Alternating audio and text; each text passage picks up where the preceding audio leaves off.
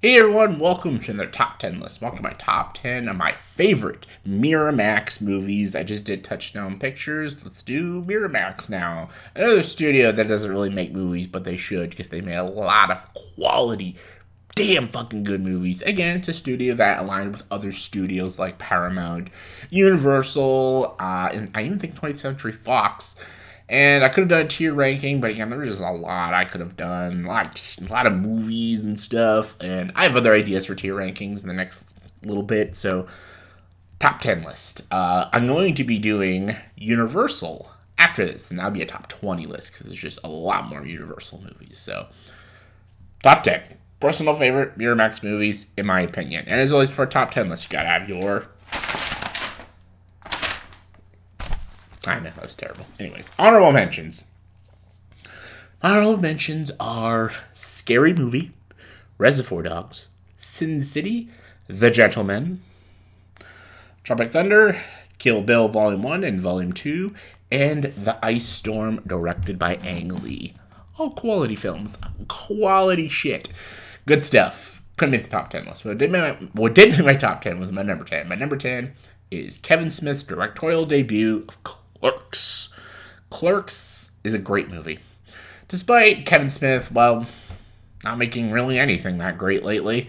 Clerks 3 was a disappointment, I'm sorry. But um I think this is a fantastic movie. It's also got a great story to it, not just the movie of making of the movie. It's just an inspirational story for all filmmakers. But this is just a great independent comedy movie. It's so simple. It's just about two guys working on a day where they just don't want to work and it's just them slacking and talking and just chilling. It's just about hanging out at a convenience store for the day. It's so simple and so perfect and it just works. It's funny.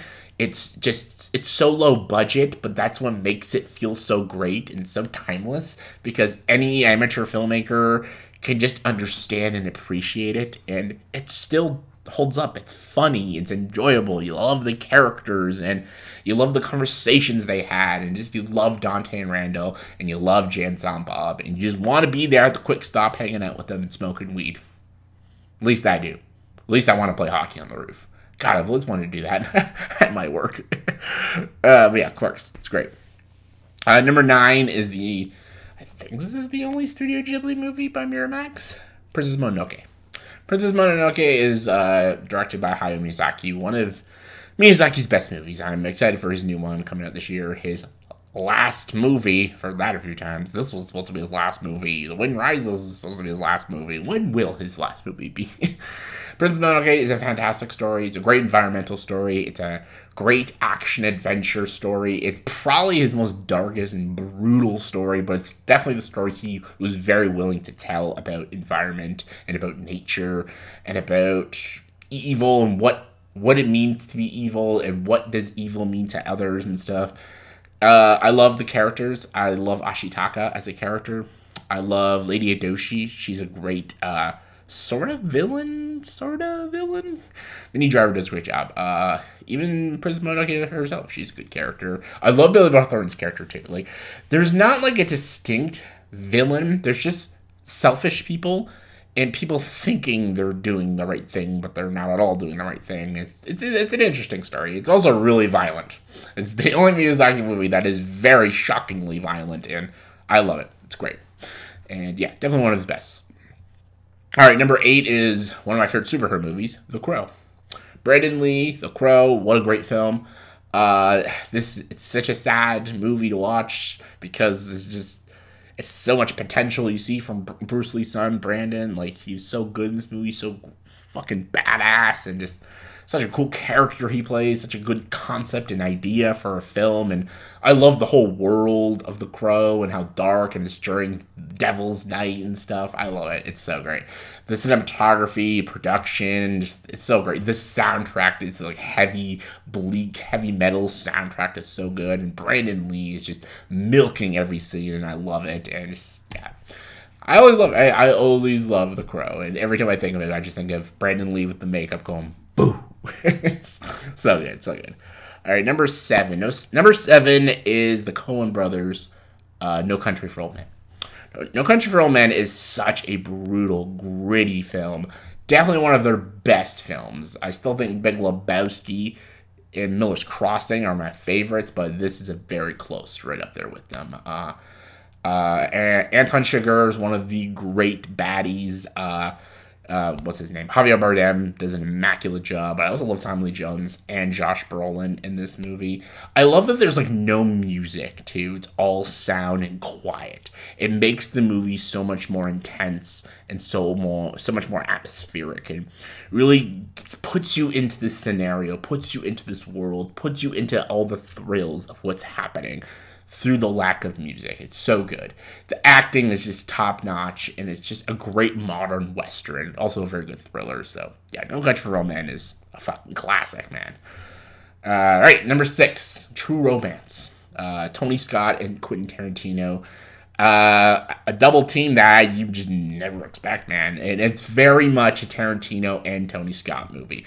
The dialogue is super Tarantino, and the style and just the look of it, and how blue and just the color coding. It's such a Tony Scott movie. You could tell this was made by Tony Scott and written by Tarantino, and it works beautifully.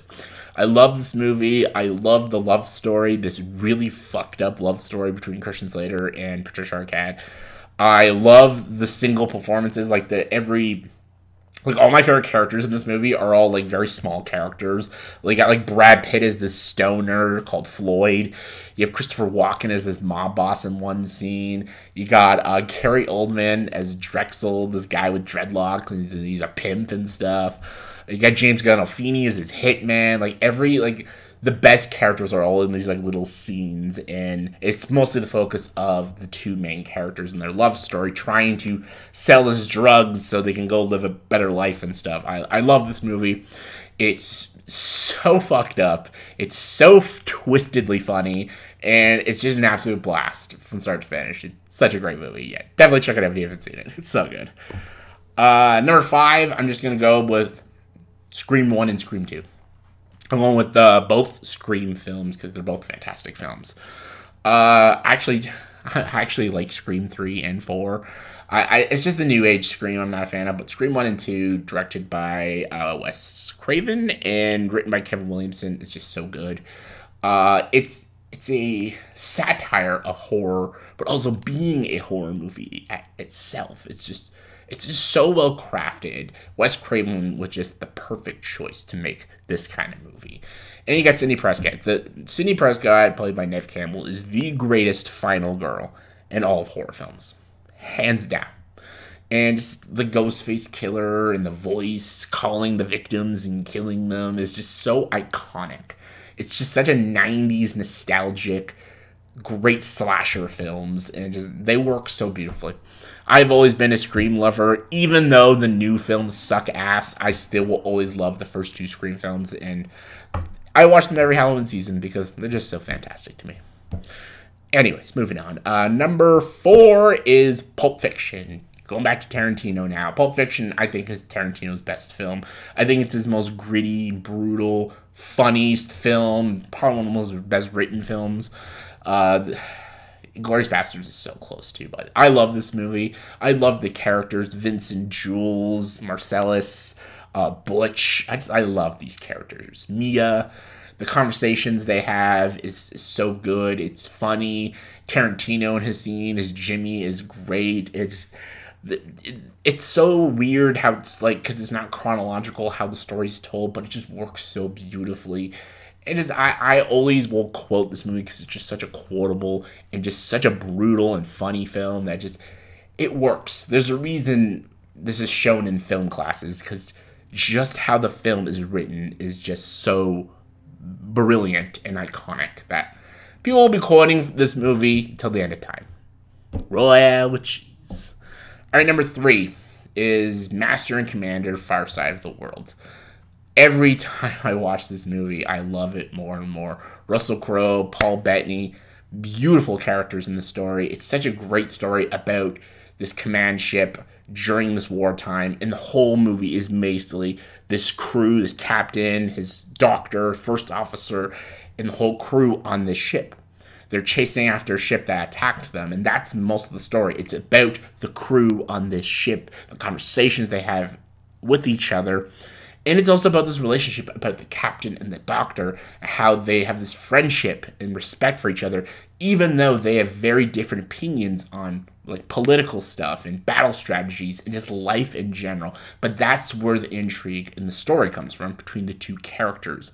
One is a commander that believes that hard work and dominance and winning for your country is the most important, but one man is a pacifist and he cares about nature and preserving nature and helping people and saving lives. And the captain is well taking lives and stuff because he's a commanding officer that has to do it for his country and for his people. It's honor in that, but there's honor in being a doctor too that's why they respect each other. Even though they disagree with each other, they both respect because they both have honor in their professions. That is what makes the movie so brilliant. That's the heart and soul of Master and Commander. Also, it's got great battle sequences, beautiful cinematography, probably the best directed Peter Weir film I've seen. Yeah, just uh, every time I watch this movie, I love it more and more. And it's just it's Master and Commander. It's so fucking good. All right, number two. It's my favorite comedy of all time, Hot Fuzz. Hot Fuzz is my favorite comedy of all time. It's the funniest movie to me. It makes me laugh. It puts a smile on my face. It's the best out of the Cornetto trilogy, and I love the whole Cornetto trilogy. Shaun of the Dead, The World's End, both fantastic films, but Hot Fuzz, the chemistry between Simon Pegg and Nick Frost is out of this world. Timothy Dalton as a, a deranged villain is funny. The twist is so great, brilliant, and hilarious as well. The greater good. just it, it, again, I always say with the comedy. What makes a great comedy is jokes or visual humors that you pick up watching multiple times. If you can watch a comedy film multiple times and always laugh, always find something new in it, that's a very good and well put together comedic film. Like, there's a lot of films I've laughed my ass off watching, but I watch a second and third time, and they're just not as funny as what or as rewatchable. Hot Fuzz is always rewatchable. I've seen this movie over 10 times and I will always laugh, always find something new or something interesting that I've never seen before, and just makes the experience all the more amazing. And just, yeah, it's Hot Fuzz. so good. Number one, Good Will Hunting. Probably Miramax's most known movie is Good Will Hunting. Uh, Gus Van Sant, one of his few good movies. Ben Affleck, Matt Damon. This has like brought us the Ben Affleck and Matt Damon. The writing and just so good. I've talked so much about Good Will Hunting. I've probably mentioned this movie dozens of times in videos. Everyone knows it's one of my top five favorite films, top ten favorite films of all time. It's the movie that got me in love with cinema. I've always loved movies. My whole childhood, I love movies, but Good Will Hunting is what made me like want to write stuff and make me explore different types of films that I'm just not uh, not used to. Like when I was a kid, I always loved sci-fi, action, fantasy, and the occasional crude comedy.